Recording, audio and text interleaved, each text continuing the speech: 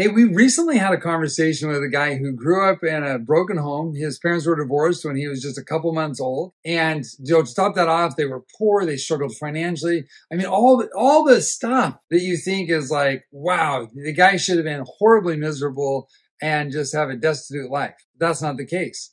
In fact, this amazing individual that we visited with has transformed millions of people's lives and is still doing it today. He's a best-selling author and his life's mission is focused on helping families, strengthening families, teaching people how to connect and, and how to become attached, not just being close to one another, proximity, but emotionally connecting. He said that was the secret that changed his whole life.